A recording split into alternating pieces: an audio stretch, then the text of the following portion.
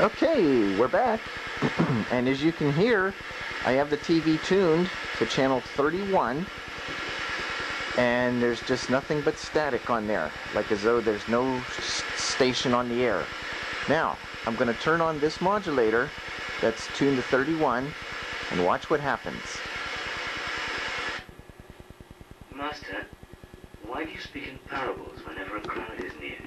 Knowledge of the secrets of the kingdom of God have been given to you.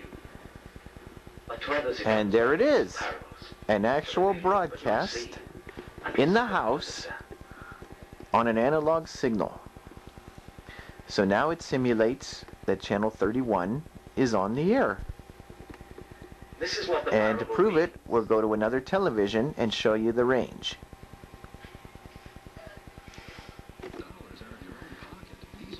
Okay, we're back at the analog television, the one with the analog tuning, and as you can see, it's still on channel 62.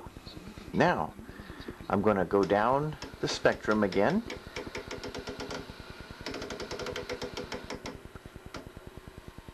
And there's channel 31. They were sailing.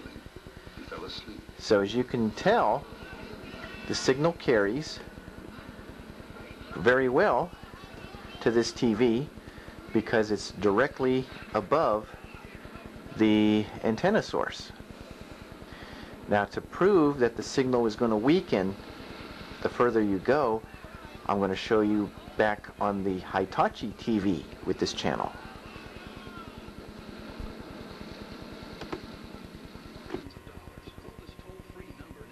Okay, we're back here on the Hitachi TV, and as you can see, this is still on channel 62.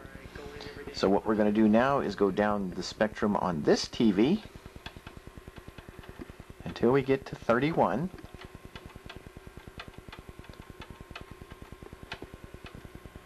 And there's 31. Where is your faith? Now, this may look very clear to you right now, but I can guarantee that if I went outside, it would not come in because those modulators are not meant to pass through block walls. So there's no uh, there's no high concern of the signal being transmitted all the way to a neighboring house because the signal is very very weak. But here it looks very clear. And part of the reason too is that there's no other uh, modulators turned on.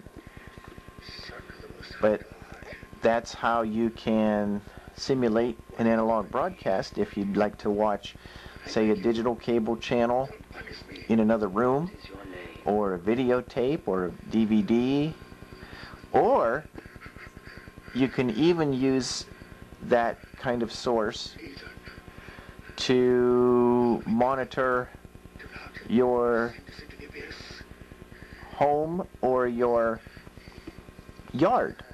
Now, the only thing I recommend on that is I would not use the over the airwave signal.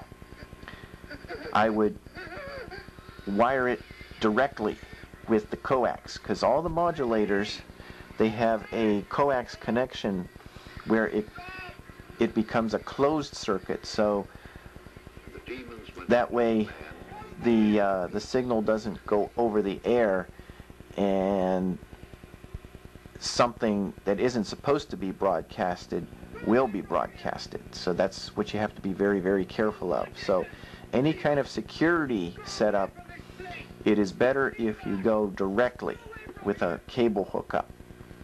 And then there's no chance of anything being transmitted over the air that shouldn't be.